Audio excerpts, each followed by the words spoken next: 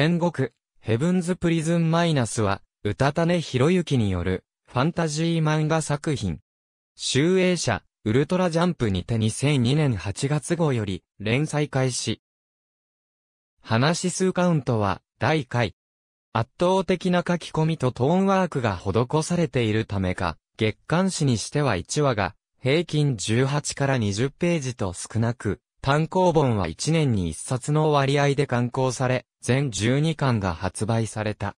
また、登場人物に、幼女やメガネをかけたキャラの割合が多いのも特徴。単行本化の際には過失、修正がなされ、連載時とはまるで違うものになっている。また、時折番外編というサブタイトルがつくが、掲載されるが、それは単行本に収録されないことが多い。特装版として、浅井真紀による稼働フィギュアが同梱されるなど、た作品に先駆けた意欲的な試みも多い。2015年5月号に未消化の伏線や謎をいくつか残したまま最終回を迎えた。退屈な日々を送る平凡な女子高生、トール子は、ある日、友人の瀬川マリーから交通事故があったと電話で呼び出される。そして、トーコは、心理と共に、事故現場の野じ馬をしていたが、彼女はそこで血を集めるメイド姿の少女、砂姫を発見する。しかし、彼女は、トール子以外には見えていなかった。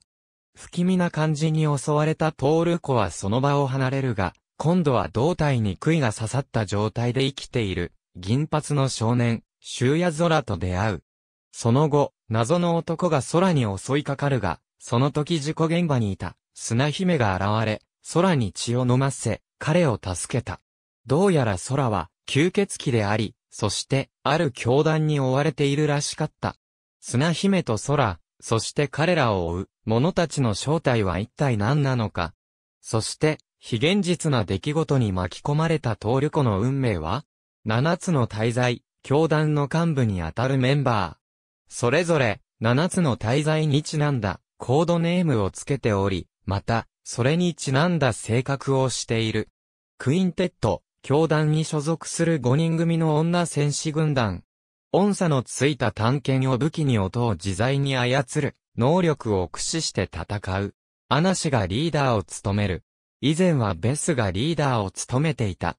統率者は指揮者で、彼には信頼を寄せているが、指揮者からは単なる道具としか見られていない。その他、ありがとうございます。